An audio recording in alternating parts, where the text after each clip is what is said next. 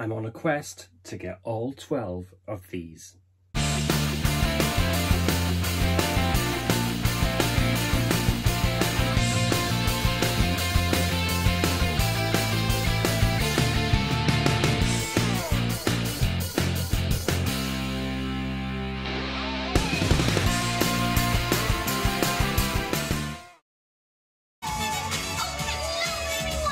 Just a short video today because I've actually just gone ahead and just bought some more Disney Vinylmations. So I'm just going to be doing an unboxing of them and see if I can add to my collection of five that I've already got. So far, no repeats, so I might have just jinxed myself by saying that. Word of caution to this tale. Disney's Vinylmations were a huge thing in Disney World in the late noughties and early 2010s um, but they were dis discontinued. Um, I think around about 2014, 2015, but they did bring back a special set to celebrate the 50th anniversary of Disney World. So far in a set of 12, I've got five, no repeats yet, so I might have just jinxed myself. I've got Chip, just double checking that is Chip, yeah. Uh, we've got the Pirates of the Caribbean, Ghost, uh, which I did find, it was just on the floor. Um, we've got Minnie Mouse, and of course, all these are actually wearing the iridescent colours. Um, we've got Dumbo and Donald Duck. You going to be here. They decided to come and celebrate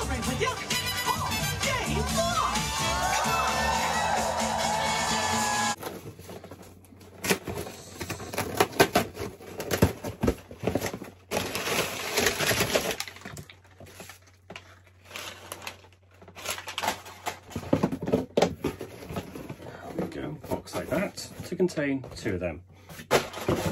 Right, so two new ones. Are we going to get a sixth and seventh one? There are the ones in the whole set. So I'm hoping for, of course, Mickey Mouse, Pluto, Dale, um, or even the Chaser. Still haven't got a clue what the Chaser is. So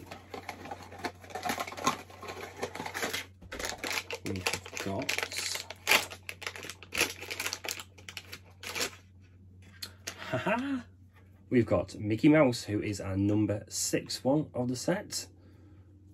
Mickey Mouse wearing his iridescent colours. Okay so I'm gonna get a seventh one